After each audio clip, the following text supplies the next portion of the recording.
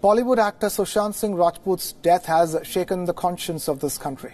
The Indian society, which is usually held back from speaking up openly about mental health, has started conversations on the internet about the importance of mental well-being and seeking help at the right time.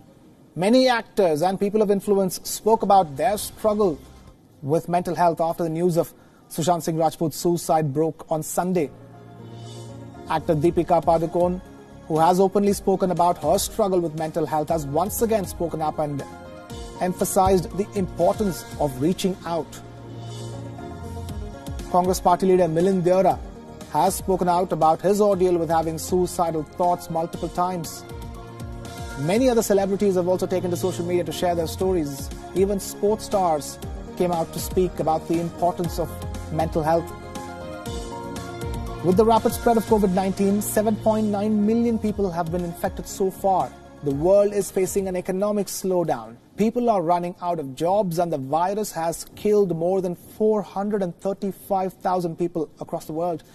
It's only natural that people's mental health is being severely affected at this moment.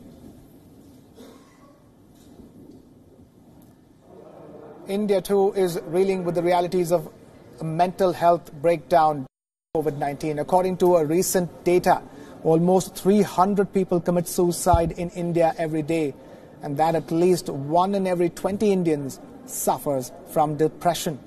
This data clearly indicates the need for radical reforms for mental health. While depression causes major clinical issues, the first step towards mental well-being is to acknowledge the need for treatment and help and then seeking help. So amidst the pandemic, doctors and experts have advised people to reach out to those in need and even encourage those who are suffering from mental health issues. It's high time that we as a society sensitize ourselves about the realities of mental health and openly have conversations about mental well-being.